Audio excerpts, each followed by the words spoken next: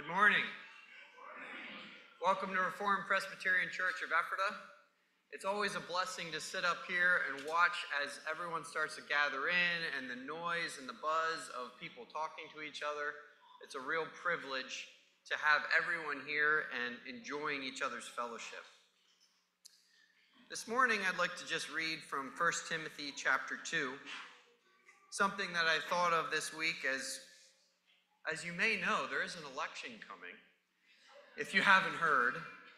So, what then are we to do as God's people? First of all, then, I urge that supplications, prayers, intercessions, and thanksgivings be made for all people, for kings and all who are in high positions, that we may lead a peaceful and quiet life, godly and dignified in every way. So, what are we to do? We are to pray for our leaders, we're to pray for this whole process. Some of you may have a little bit of angst and insecurity about the things going around in our world, and for maybe good reasons. But I encourage you to carry those cares, carry those burdens to the one who can stir the heart of a king, can direct his heart wherever he wills, and that is God our Father, who is sovereign over all these things. But I would also encourage us to be people of the Word. Why? Because Christ sanctifies us by his word, he cleanses us by his word, and that as, this is our commitment as elders and leaders of your church, this church here, is that we be dedicated to declaring God's word to his people through all the world. So we have Jake and Sarah Grasser here this morning. We're very happy to have them. They'll do a missions moment and then a luncheon later. Also, before I forget, it's Amen Bingo. So kids, get your Amen Bingo papers. Adults, you're allowed to as well, but the prizes do not apply to you. So let us be people of God's word. Let us be going to his word. So allow these words to just sink in into your hearts, into your minds as I read them. Psalm 128. Blessed is everyone who fears the Lord, who walks in his ways. You shall eat the fruit of the labor of your hands. You shall be blessed and it shall be well with you. Your wife will be like a fruitful vine within your house. Your children will be like olive shoots around your table. Behold, thus shall the man be blessed who fears the Lord. The Lord bless you from Zion. May you see the prosperity of Jerusalem all the days of your life. May you see your children's children. Peace be upon Israel. Let's go to God in prayer. Father, we come before you as your children.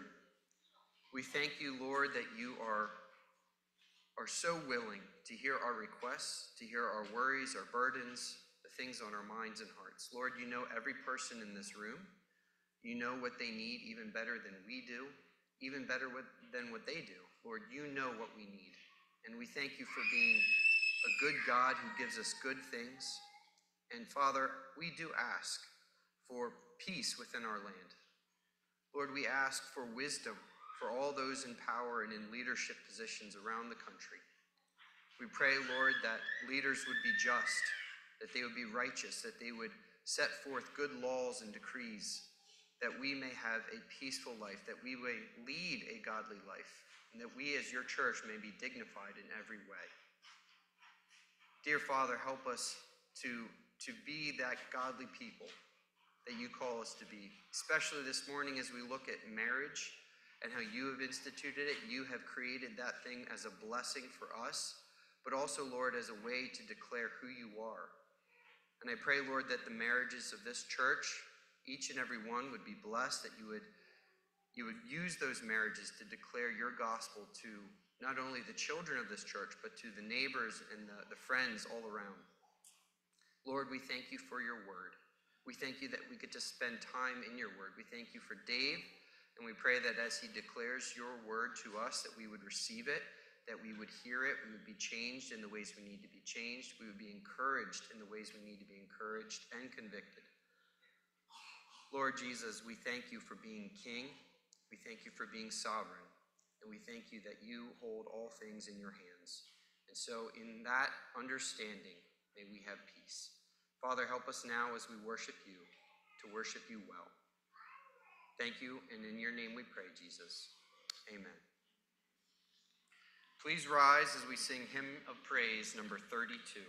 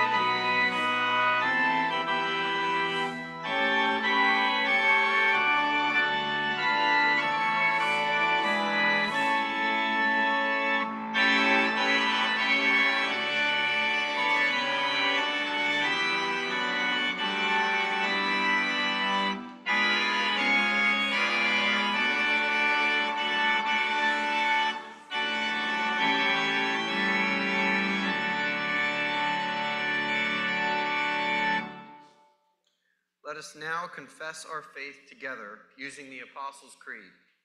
Christian, what do you believe?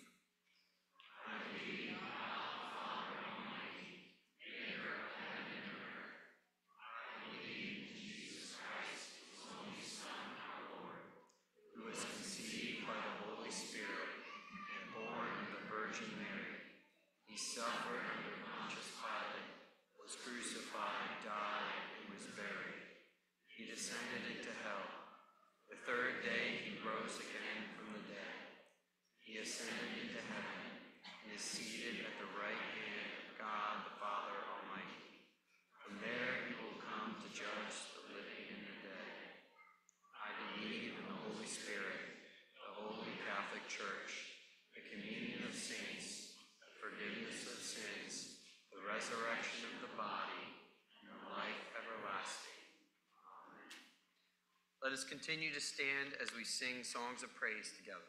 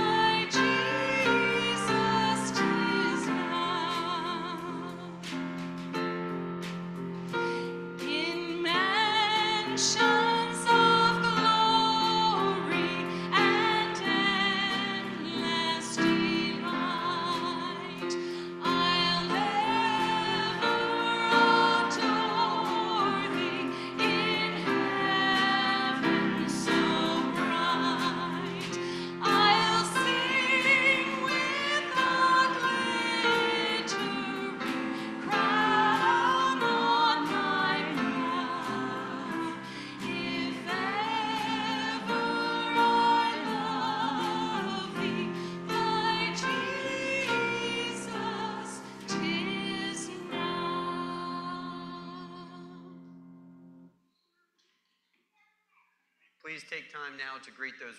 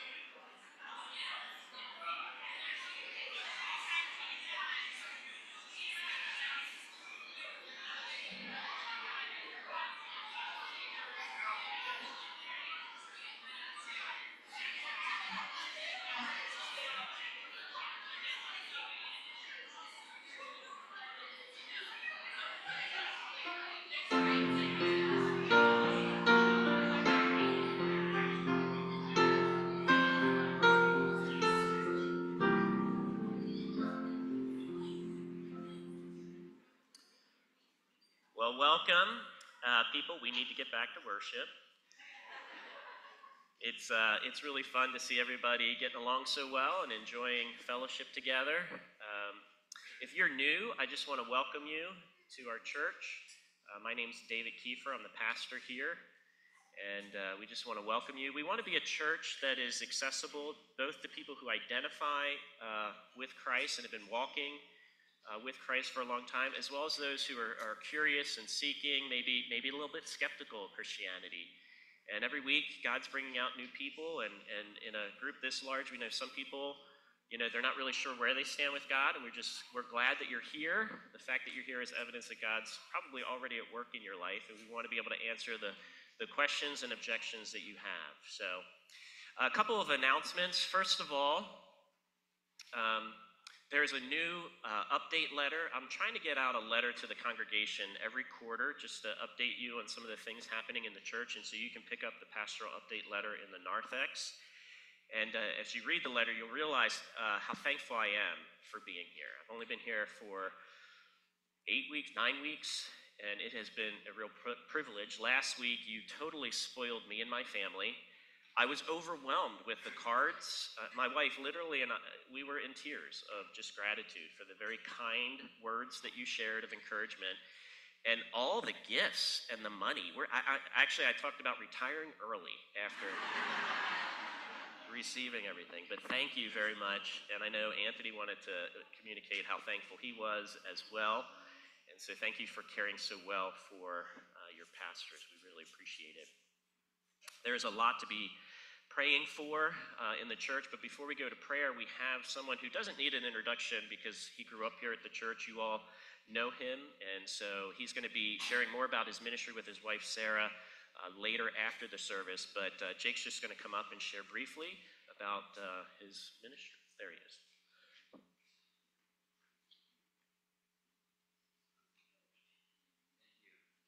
Thank you for that introduction. So, um, one of the services that our hospital has is palliative care. Um, oftentimes in Togo, when people have a palliative illness, um, something that's terminal, local hospitals will not tell them the severity of their illness. They will just get them to a healthy enough point where they can be discharged. And then that person is readmitted and discharged, readmitted, discharged.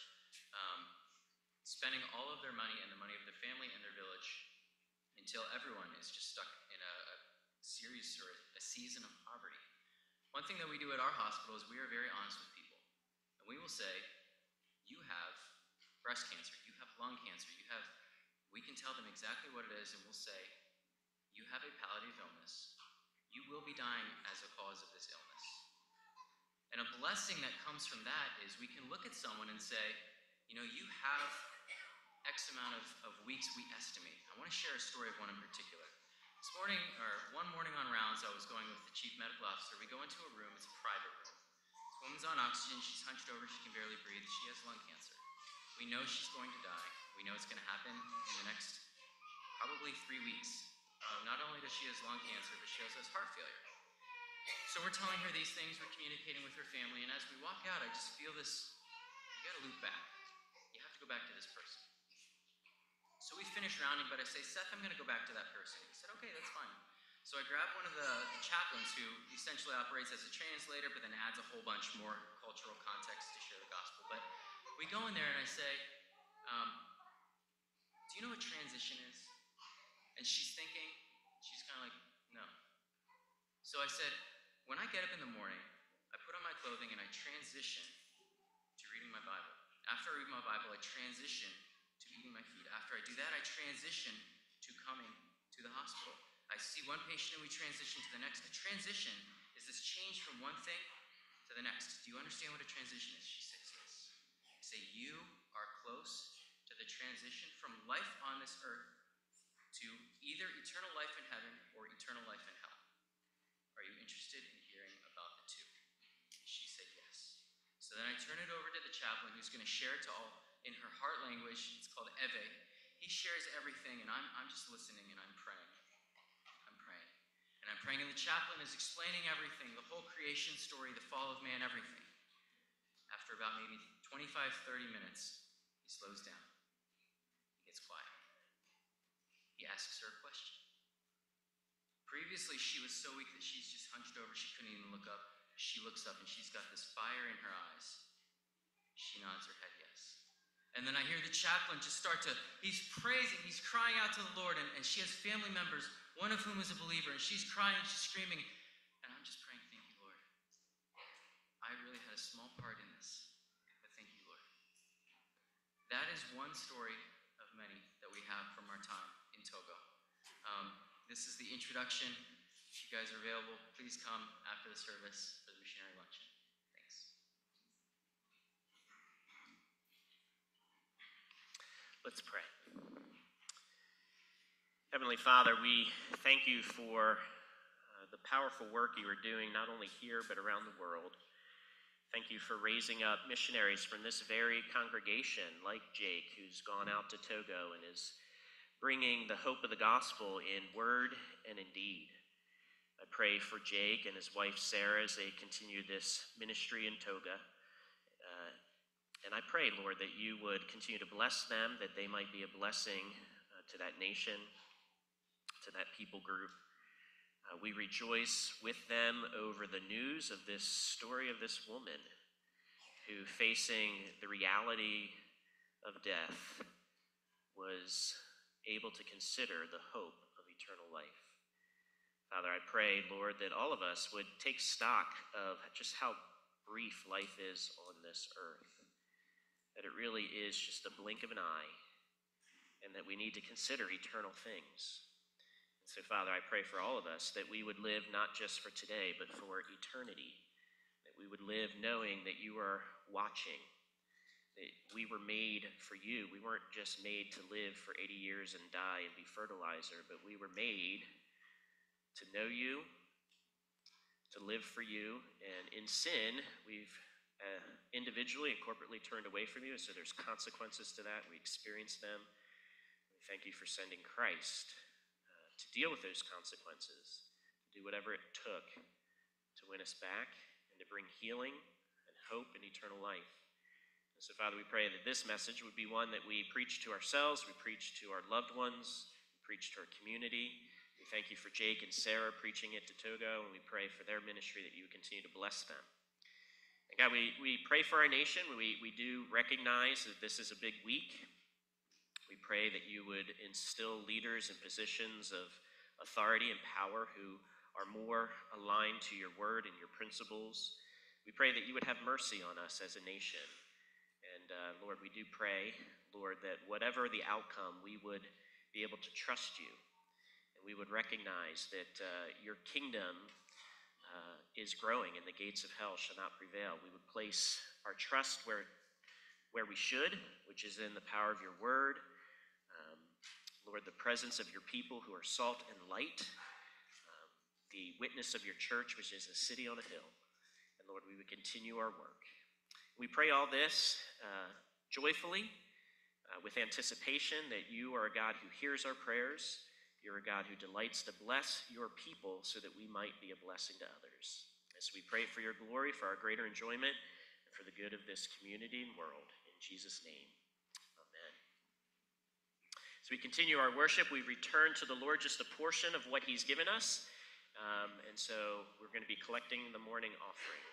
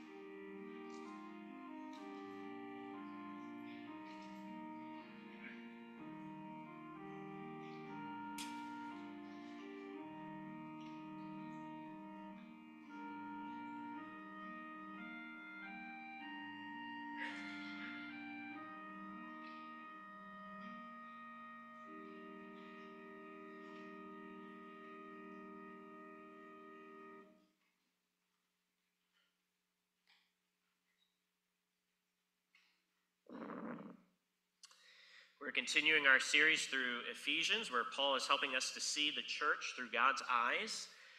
Uh, just by way of review, Paul has already uh, described the, the birth and the growth of the church, as well as the mystery and power of the church. and in the most recent weeks, we've talked about the call of the church, the dress, how the church is to clothe itself, and then last week, the walk of the church, how we are to strive and follow after Jesus' footprints. Uh, as Paul's letter progresses, he moves from theological principles to practical issues in daily life.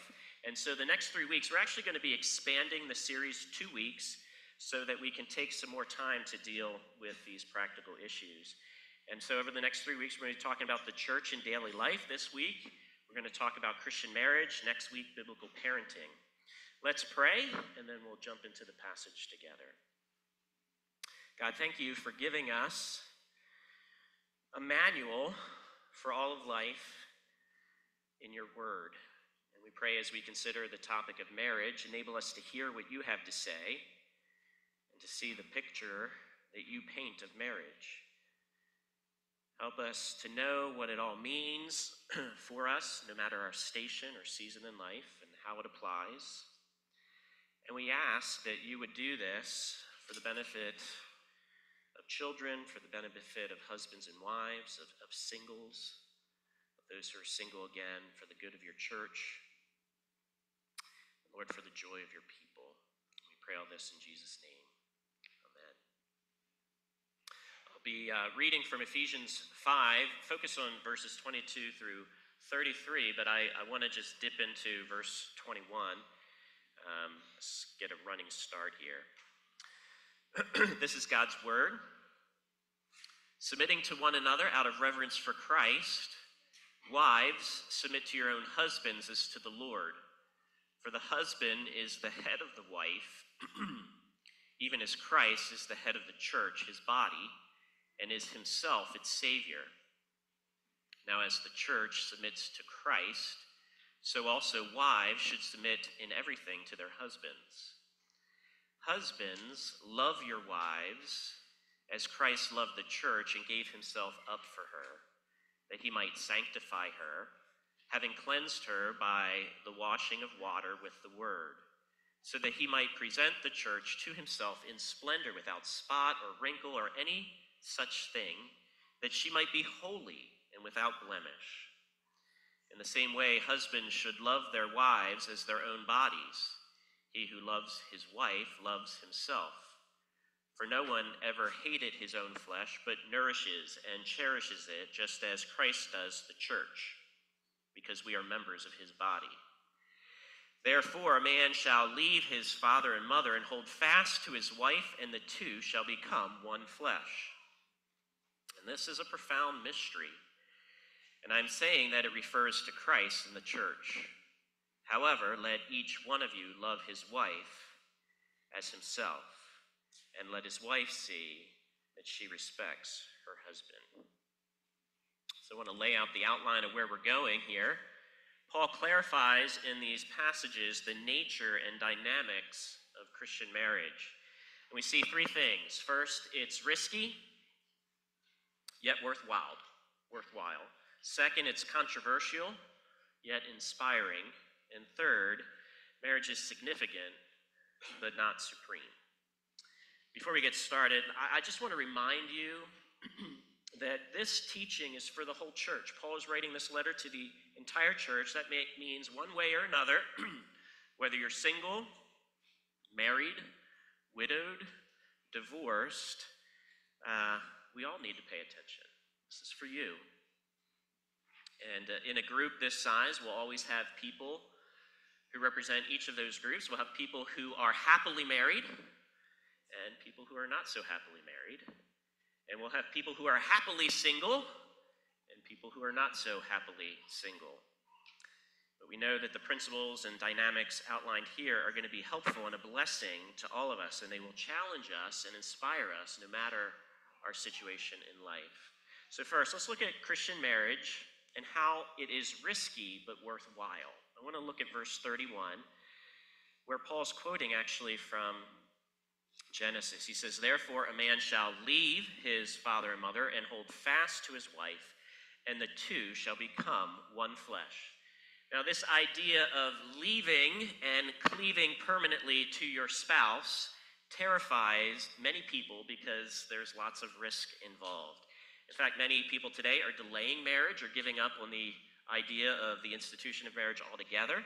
According to the U.S. Census Bureau and the National Marriage Project, the leading indicators show that marriage has been in decline in the U.S. for decades. Between 1960 and 2016, the percent of children living in families with two parents has declined from 88 from I'm sorry, 88% to 69%. And there seems to be an increasing cynicism about marriage among young adults today. It's captured by the comedian Chris Rock, who quipped, "Do you want to be single and lonely or married and bored?" Now, many argue today that um, if you want to improve your chances at a healthy marriage, that you need to live together before you're married because it allows you to discern whether or not you are compatible before you, you know, sort of take the plunge and jump in.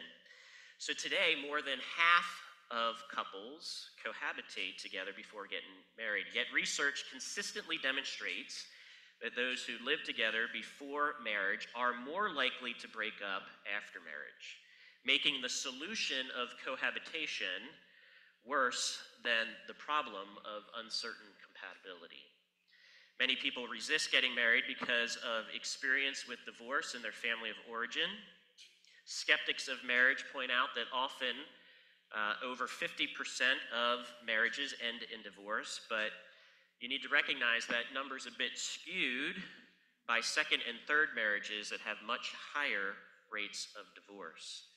By far, the greatest percent of divorce is by those who marry before age 18 have dropped out of high school and had a baby together before getting married. But if you are reasonably well educated, come from an intact family and a religious background, and you marry without first having a baby, your chances of divorce are actually quite low. The reality is is that people who marry and remain married are much happier and healthier across a wide range of measurements. They're more financially stable. They experience greater physical and mental health because marriage provides a safety net uh, that helps people absorb setbacks and trials and difficulties in life. And despite uh, popular beliefs to the contrary, surveys show decade after decade that over 62% of married people report being very, very happy in their marriages.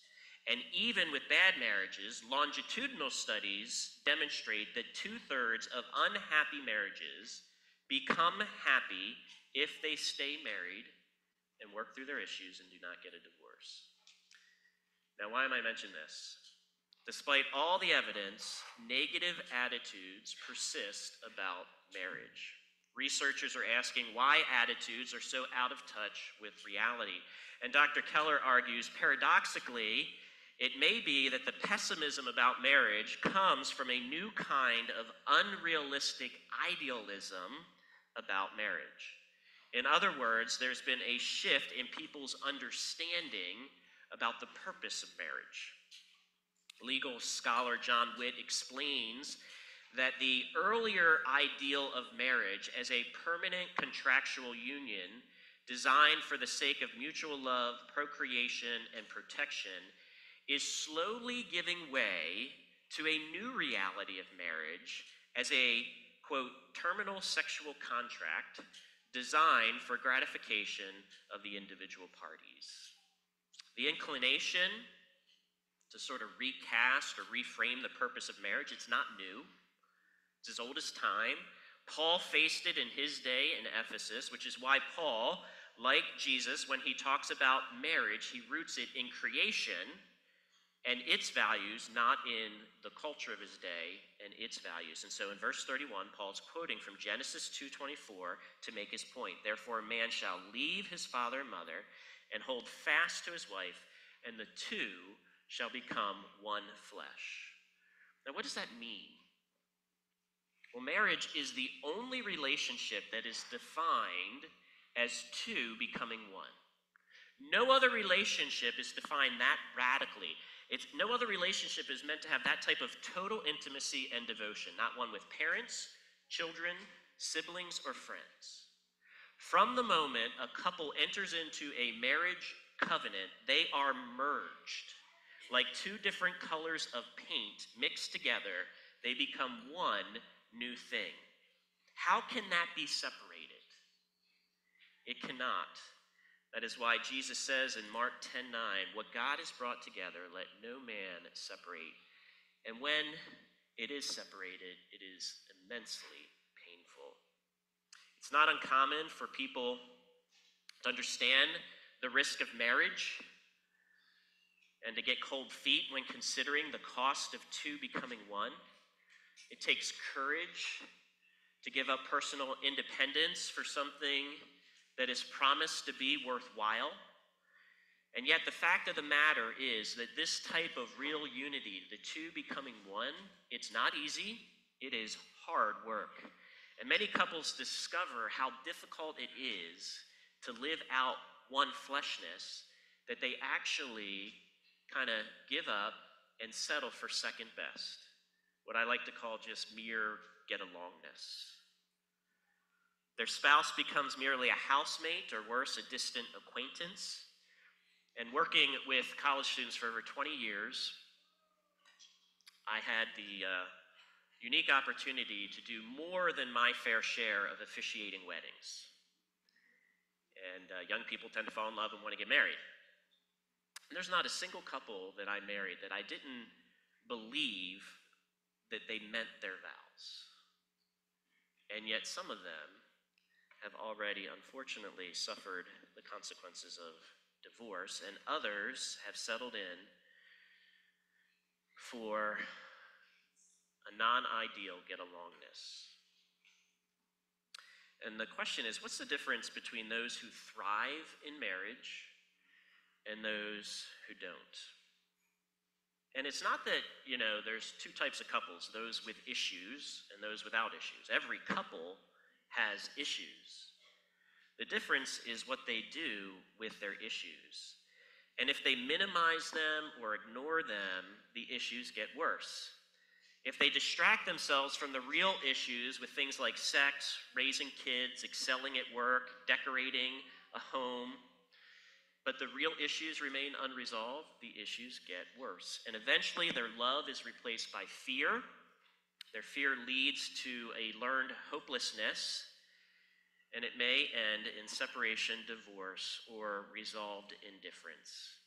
But if the married couple does the hard work, both partners do the hard work of one fleshness, and they work through their issues rather than ignore them or fix them superficially, if they work hard at connecting at the heart level, seeking to discover each other's desires and fears and what makes each other's tick, and they don't fall into the, the uh, bad habit of making assumptions, but they, they commit to keeping at it until they learn to get it right, those marriages soar.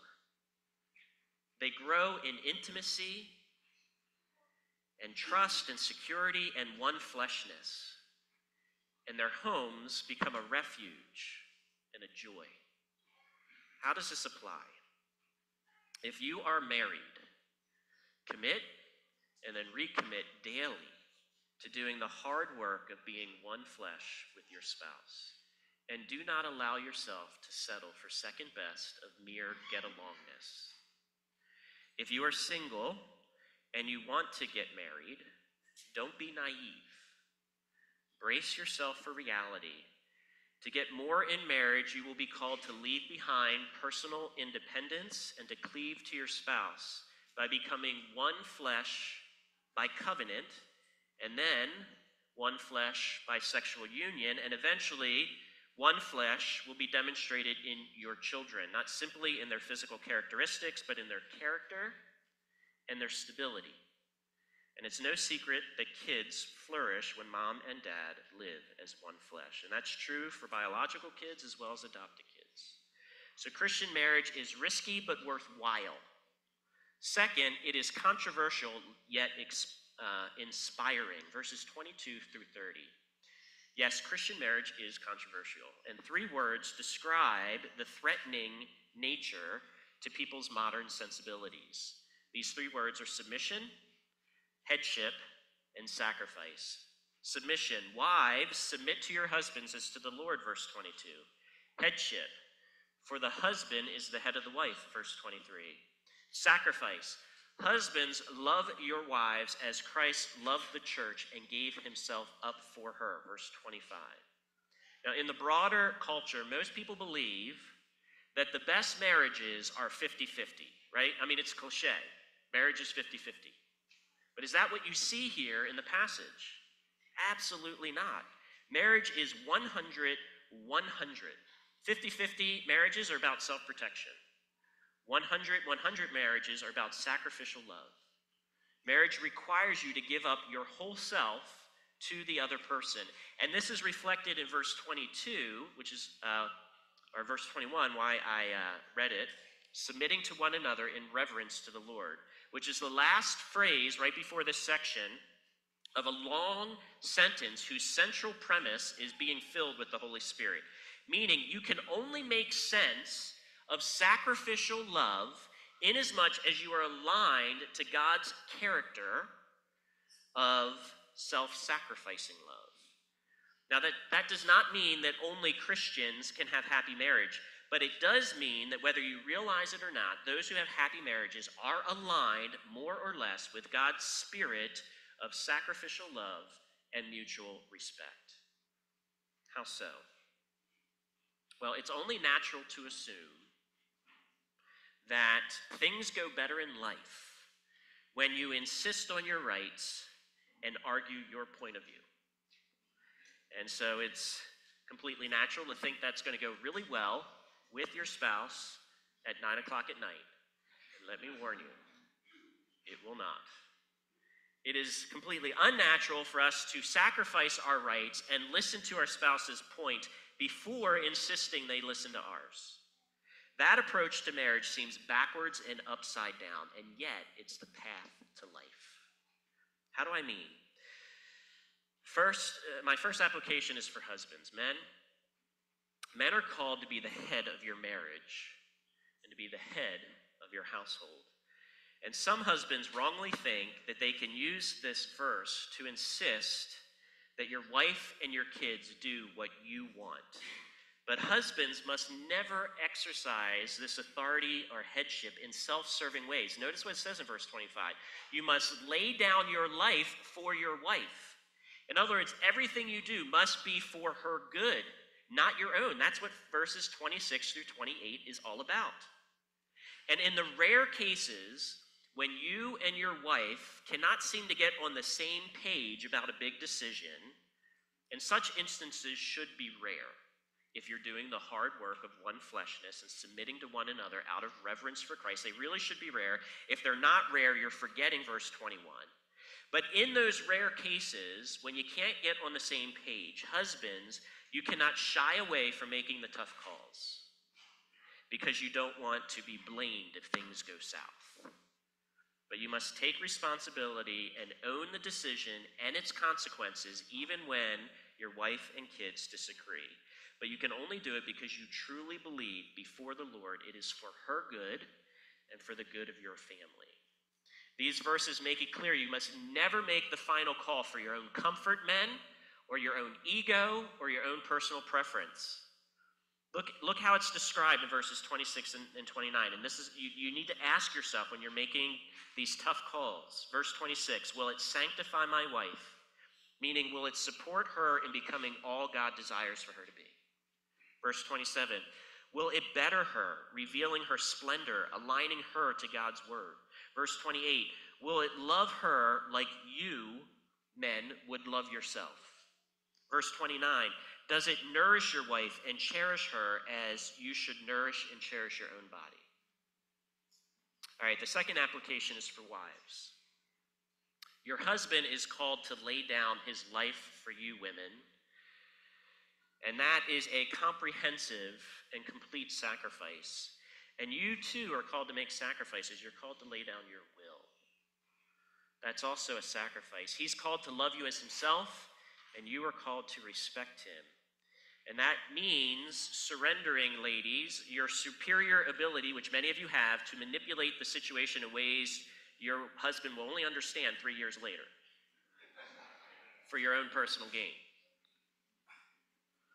Right? Now, I know submission, headship, and sacrifice are controversial. In a fallen world, both sexes are better practiced at leveraging power to gain personal advantage rather than using their power to love and serve and mutually benefit one another. But for those who refuse to become reactive and who are willing to pause and consider that maybe, just maybe, God knows what He's talking about when He gives us the purpose of marriage, that maybe He's going to create something more, not less, for everyone if we align our understanding to His definitions and His purposes. And when you begin to consider that as a possibility, that God actually knows what he's talking about, you can get past the controversy and find inspiration. Listen, Christian marriage will always be controversial to outsiders, but it becomes truly inspirational to those who have seen it lived out as God intends. And how is it inspirational? Well, you ever notice the beauty of any picture is enhanced when it's placed in a fitting frame. And so Paul frames marriage in two, in two ways that, that enhance it. The first frame Paul uses is the principle of complementary roles. Lovers that complement each other do not merely mimic each other, they're more like chocolate and peanut butter. Thus, Christian marriage is dynamic, not static. It's symphonic, not monophonic. Picture the unique beauty of couples figure skating in the Olympics. Man and woman enhance one another as they dance, and there are delightful distinctions. equal partners, equal value, complementary roles. Now, keep in mind, complementary roles predate creation, even the creation of Adam and Eve. In the Bible's creation account, in Genesis 1, verse 26 and 27, God says, Let us make man in our image, after our likeness. And so God created man in his own image, male and female, he created them. See, complementary roles is not only rooted in the distinction of male and female, it is rooted in God's Trinitarian nature. Remember back in Ephesians chapter 1 how Paul has given us a peek into the prequel of creation. How the Father, the Son, and the Holy Spirit lived as three distinct persons, but equal in value, all one God. And that complementary role spills over in creation and in redemption. The Father plans our redemption, the Son accomplishes it, and the Spirit guarantees it. And their personhood of each member of the Godhead is enhanced, not diminished, by their role. The Son glorifies the Father by submitting to the Father's will always. The Spirit magnifies the Son in all things, not himself. And the Father exalts the Son and places all things under the Son's feet. Complementary roles reflects God's Trinitarian nature. And then God wants the beauty of his character to be reflected in creation, and that's why he creates man as male. Eve is made to be Adam's, and I'm terrible at Hebrew pronunciation, so if you speak Hebrew, forgive me. But Eve is made as Adam's, Ezar Kenegdago in uh, Genesis 2:18. Now, most modern translations render it something like Eve is a helper fit for Adam. Ezar is often used to describe God's gracious acting. God Himself is our Ezar, our helper. Kenadago has root in the God, which means negative or opposite. Now, if you put those two words together, Eve is something like a helper against him or a helper opposite him, as when people sit face to face. One Israeli American scholar, Dennis Prager, clarified that the best translation is Eve is a beneficial adversary. Well, what does that mean? It means that Eve is Adam's match in every way. Out of all creation, the only one that can challenge him and be challenged by him so that they are both benefited is Eve. And it's not good for Adam to be alone, so he makes Eve as his beneficial adversary. And that pretty much describes every husband I know who has a happy marriage, he describes his wife as a beneficial adversary. Marty is my beneficial adversary. Game strategists have known that the best way to increase skill and motivation is to pair people appropriately. If you pair together a 120 pound kid with a 240 pound kid on the wrestling mat, it's not fun for either of them. Maybe for like 30 seconds. But then they both get bored. Uh, the heavier person will get bored won't be challenged, won't grow. The lighter person will get frustrated. There's nothing that they can do to win. And the same is true whether you're trying to improve people as tennis players or chess players. When you match equals, what happens is that they're adversaries that are beneficial, right? They actually spur one another to be better. The best playmates are the ones you compete with. And sometimes they win, sometimes you win. Right? Coaches, that's how you make a great team. You put together beneficial adversaries. How does this apply? Marriage is created by God for the mutual benefit and enhancement and joy of each spouse. Eve is Adam's beneficial adversary, the one who can challenge, help, and enjoy him like no other. In fact, if you've ever played and you're really enjoying play, it's because you're playing with a beneficial adversary. That's the highest joy of play. Put that in marriage, and it's just fun. Men, if you don't view your wives this way, you will never realize the adventure God intends for marriage. And women, if you cannot respect your husband in this way, you don't see him as your equal that you can respect, wait and don't settle. So, Paul's first framing of marriage is one of complementary roles. The second framing is covenantal love. Marriage reflects the covenantal love for Jesus' bride, that Jesus has for his bride, the church, in verses 25 through 27. Husbands, love their wives as Christ loved the church and gave himself up for her. Wives, submit to their husbands as to Christ the Lord. Notice in verse 32, again, he, he connects it back to this profound mystery that he says, I'm actually talking about Christ and the church. In other words, marriage is not only a gift from God, because you're reading this, are, are you talking about marriage or are you talking about the church? Which is it, Paul? And he's like, okay, let me just let you know, I'm talking about the church. Because what he's saying is that marriage is not only a beautiful gift, it is a beautiful picture framed by God to help us understand more about our relationship with God through Jesus, who is our real lover and our eternal spouse. Marriage helps us to see what God has already done for us, how in Jesus Christ God is coming close to his beloved to win her love, how he is seeking a forever relationship in Jesus Christ by doing whatever it takes to make things right so that they, us, his bride, can be one flesh with Christ. And he does it even if it means giving up his right as the King of heaven, sacrificing his comfort, taking on the debt of his beloved, of you and me, and paying down that debt with his debt, death on a cross so that we, who couldn't pay for it, could be freed of the debt. Marriage is not only a display of what Christ has done, however, it is also a picture of what he will do. Jesus is not only one who paid for our debt on the cross, but he actually gives us his riches.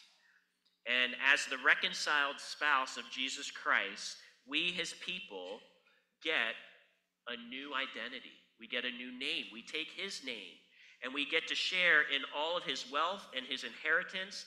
His inheritance is our inheritance. When Marty and I were joined together, our finances were joined together. Everything I owned, she owned. And it's the same thing here. And he, Jesus being our perfect lover, then brings us into his heavenly home and says, All that is mine is yours, and I will withhold nothing from you, so enjoy. So, what does this all mean? Well, it leads to our last point. Christian marriage is beautifully and wonderfully significant, but it's not supreme. In life, Christian marriage, rightly understood, and don't get me wrong, it's beautiful, but it is not the summum bonum, right? It's not the greatest or supreme good. It points to the greatest thing, but it is not the greatest thing. Your relationship with Jesus Christ is the greatest thing. And we need to remember that whether you are single or you are married. There's something that I tell every couple who I have the privilege of officiating their marriage. And the reason why I do it is because the person who officiated my marriage did it for Marty and I. It was the wisest words I ever heard. My pastor, Pat Goodman, looked at me when we were standing at the altar and he said, Dave, Marty is God's greatest gift to you. But Marty was never meant to be enough for you. Only Jesus Christ is enough for you. And as much as you remember that Jesus Christ is enough for you, then you can enjoy Marty for what she's meant to be as a good gift. But the moment you forget about it and you make her your Savior, things will go off the rails. And then he turned to Marty and he said the exact same words. And then he looked at both of us and he said, Only Jesus Christ will meet your needs. You were made to find your rest and ultimate fulfillment in God. And as much as you understand this, you will be able to serve one another and sacrifice for one another.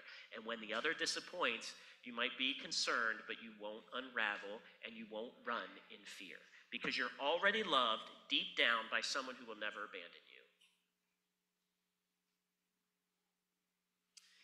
That was transforming words. And I want to encourage you if you're struggling in your marriage, turn first to Jesus Christ. He's the only one that can make you into a sacrificial lover. If you don't, you will try to suck life out of your spouse, and it will really annoy them. Turn to Christ, let Him fill you so that you can turn and love your spouse sacrificially, even when they don't love you back, even when they're irritable, even when they quip and snap at you, you can respond with grace and forgiveness because you're receiving it. Now, if you're single or single again through a breakup or divorce or death, I recognize that understandably you feel lonely, but you are not alone. You need to be encouraged in the same way married couples need to be encouraged. Only Jesus is enough for you. A spouse, no matter how wonderful or beautiful, will not fill your cup. Only Christ will fill your cup. Only He will be enough. And while it is good to desire a spouse for camaraderie and affection, inasmuch as you realize your real spouse is Jesus Christ and you rest in Him, you will increasingly feel freedom to choose contentment in a situation that you wouldn't choose for yourself because you're already getting what you truly need from Jesus Christ. As you turn to Jesus, who is your life, that will empower you to be a life giver in the family of God, valuing and appreciating and enjoying the gifts you already have in your brothers and sisters in Christ. So, this is a wonderful picture of Christian marriage risky but worthwhile, controversial yet inspiring, significant but not supreme. Let's pray. Thank you, God, for the gift of marriage. Help us to align our understanding of Christian marriage to what you describe in your word. Help marriages in the church reflect the covenantal love between Christ and the church. Help our marriages to illustrate the complementary roles of equals who, in love, seek the good of the other, the way marriage was designed to be since the creation, because it reflects the equality yet distinctive roles of each person of the Trinity. Lord, we confess that unless we know your character and reflect it, we'll go off the rails. Until we see it demonstrated in Jesus and in his love for the bride, we'll never be content in marriage or in single life. Lord, help us behold Christ so that we can love well and live well, whether married or single. And help us, Lord, behold your covenantal love and reflect it in our lives, whatever our season may be. We pray this in Jesus' name. Amen.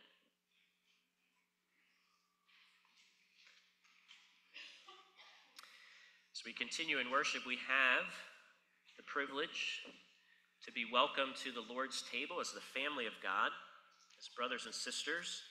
So we are going to celebrate the Lord's Supper this morning. I'm going to invite the elders forward.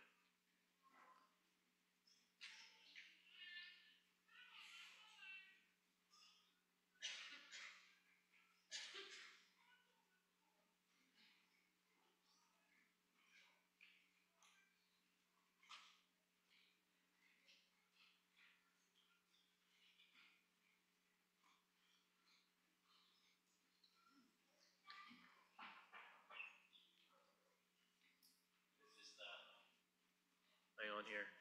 We go. Uh, this is the Lord's table, and He invites all those who have been adopted into His family by placing their trust in Jesus Christ. And so, if that describes you, we welcome you to His table. If that does not describe you, we encourage you not to come forward hypocritically. That wouldn't be good for you. We instead encourage you to come to the real thing to which all of this points. And what this points to is who Jesus is and what he provides as our uh, faithful spouse and groom who sets the table and serves the family meal. He provides for us all that we need for life, both life here and in eternity. He protects us from sin and evil, and He calls us to live in community as um, His brothers and sisters, as children, royal children of God. And so we encourage you to hold off if you're not a believer, but if you are, you're, you're free to come. If you are living in unrepentant sin, we ask you to kind of deal with that before the Lord. This is a good time for you to examine that, to repent and turn. And when you've done that, come. But if you haven't, we ask you to maybe hold off until you're ready to, to repent from known sin in your life that you just haven't repented of. That doesn't mean if you're struggling with sin, you're not welcome. None of us would be welcome. We all struggle with sin. So if you're struggling with sin and you're calling out for the Lord's help, this is spiritual food meant to strengthen you, to remind you that the extent to which God will go to prove his faithfulness to you, even when you're unfaithful. And he wants to strengthen you with that truth. So you are welcome to the table. The Apostle Paul writes that I received from the Lord what I also delivered to you that the Lord Jesus, on the night when he was betrayed, took bread, and when he had given thanks, he broke it and said, This is my body, which is for you. Do this in remembrance of me. In the same way, also, he took the cup after supper, saying, This cup is the new covenant in my blood. Do this as often as you drink it in remembrance of me. For as often as you eat this bread and drink the cup, you proclaim the Lord's death until he comes. Let us pray. Heavenly Father, we thank you for the privilege we have to come as your children to your table. We thank you for all that Jesus has done to provide the feast. He paid for the cost of this feast so we can come freely. And I pray that as we take it together, we would be nurtured and strengthened in our faith. And Lord, that this would be a reflection of the true community you are building among repentant sinners who, as they turn back to you, they can turn back to each other in forgiveness and reconciliation and celebrate that in a meal together. We pray all this in Jesus' name. Amen. We're going to be uh, asking all people to come forward to, to receive the elements. You'll be able to come down either aisle. Uh, you may take the cup up here, or you can take it back to your seat and uh, and participate uh, back at your seat. Um, after we all take together, we will have uh, a last closing hymn. And during the, the first um, verse of that hymn, please, please remain seated because we'll collect the offering for our, our love offering.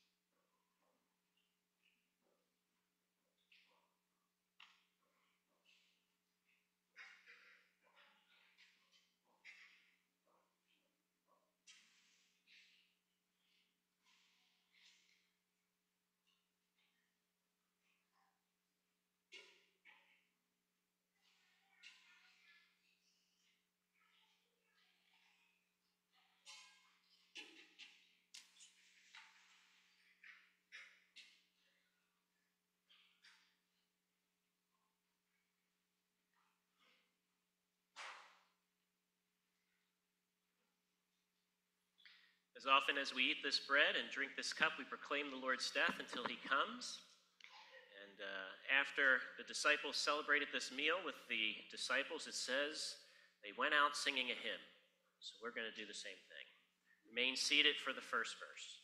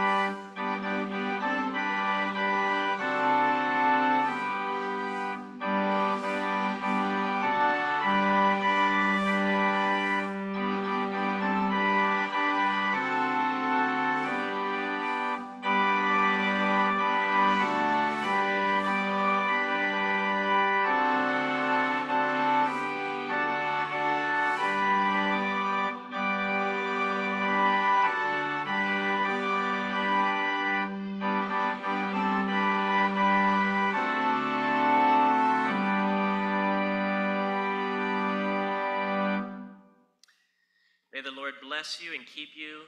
May the Lord make his face to shine upon you and be gracious to you. And may the Lord lift up his countenance upon you and give you peace. Amen.